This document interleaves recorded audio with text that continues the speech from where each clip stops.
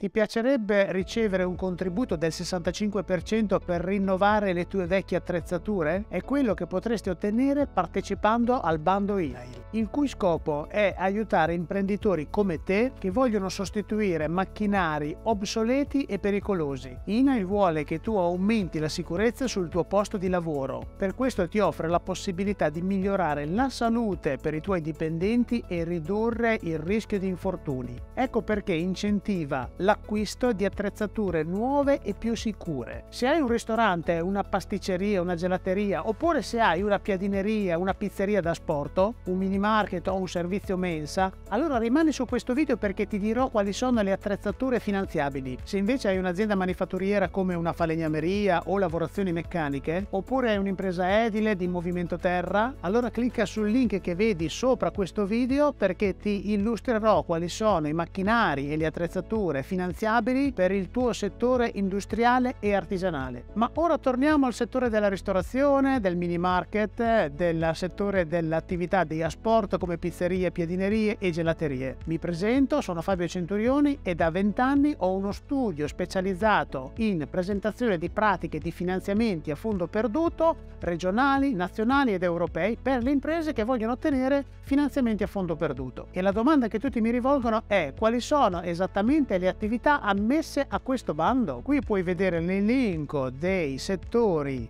di attività ammessi al contributo con riportato esattamente il codice ateco di attività di tutti i settori ammessi alla domanda di contributo di questo bando. La seconda domanda più comune che mi fanno è quali sono le attrezzature agevolabili da questo bando? Sono tutte quelle che hanno almeno un motore elettrico al suo interno, ossia non solo i forni elettrici per cuocere pizze e piadine, oppure impastatrici e planetarie, ma anche tutte quelle attrezzature che producono il freddo come vetrine frigo e refrigeratori. La terza domanda che mi fanno è quali sono i requisiti che devono avere queste attrezzature? Allora, la prima condizione è che è necessario sostituire la stessa attrezzatura analoga o simile perché l'INEL vuole che ti sbarazzi dei vecchi macchinari più rischiosi. L'attrezzatura la devi possedere da almeno due anni, controlla che tu l'abbia acquistata oltre due anni fa. Seconda condizione, l'attrezzatura deve essere più vecchia del 2010, quindi vanno benissimo tutte quelle attrezzature che hai già acquistato, già usate, ossia tutte quelle attrezzature che sono già state messe in funzione prima del 2010. 2010. Un cliente mi ha chiesto, io ho rilevato la gelateria 4 anni fa, quindi non rientro in questo bando perché le mie attrezzature non sono molto vecchie. E la mia risposta è stata, scusa, ma da quanto tempo era già operativa quella gelateria che hai già rilevato? E lui mi rispose, eh beh, il precedente proprietario già la gestiva da oltre 10 anni. Gli ho detto, vai a vedere la targhetta di metallo che c'è su ogni macchinario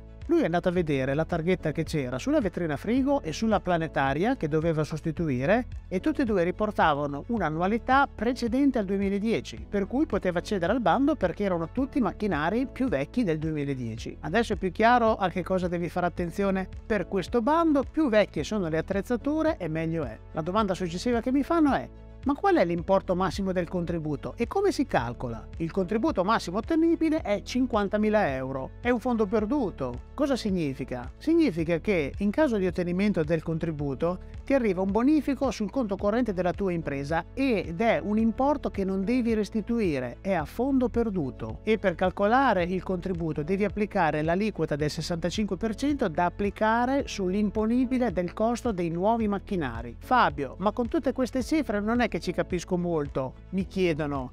Non è che ci puoi fare qualche esempio pratico che così capisco meglio come viene calcolato il contributo. Ecco l'esempio numero uno. È la pratica di fondo perduto che abbiamo impostato per una gelateria pasticceria che doveva sostituire le seguenti attrezzature. Ecco, in questo caso vedete che la pasticceria doveva sostituire il forno elettrico, la planetaria da 30.000 euro per una spesa totale da 70.000 euro.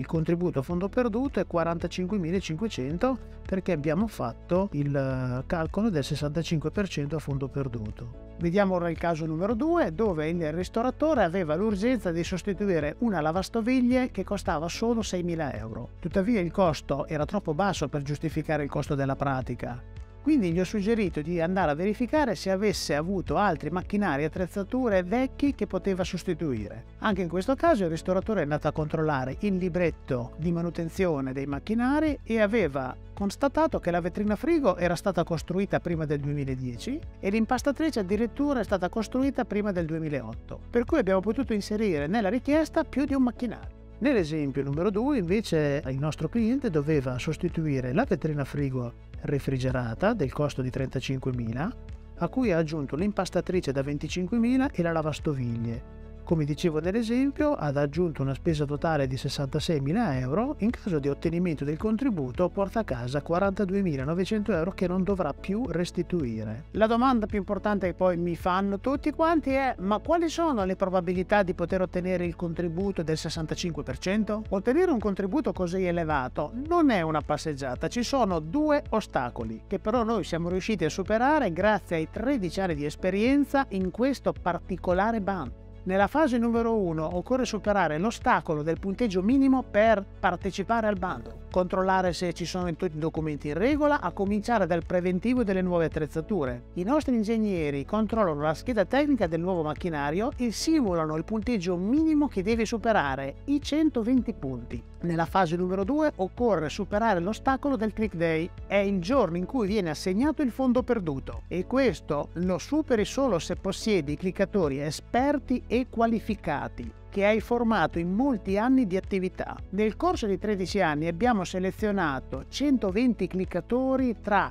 ingegneri informatici e universitari per non lasciare nulla al caso. Pensa che iniziano ad esercitarsi 4 settimane prima del click day. Solo i più veloci e precisi verranno assegnati ognuno ad una impresa specifica che ci ha chiesto di poter seguire la sua pratica di contributo. Il premio è un contributo elevatissimo del 65%, quindi non possiamo lasciare nulla al caso. È per questa minuziosità di dettagli che il mio studio riesce a portare a casa il 76% delle pratiche il giorno del Click Day. Pensa che il mio studio seleziona cliccatori fin dalla prima edizione di questo bando che era l'anno 2010. Questo significa che grazie alla mia squadra di 120 cliccatori siamo in grado di far ottenere il contributo a 76 imprese su 100. Ti seguiremo fino all'ottenimento del saldo del contributo che verrà bonificato sul conto corrente della tua impresa. Qual è adesso il prossimo passo che devi fare? Clicca sul bottone Voglio la valutazione gratuita che trovi sotto questo video. Scarica il PDF e compila i moduli il più velocemente possibile perché se arrivi troppo in ritardo rischi che non riusciamo a simulare il punteggio,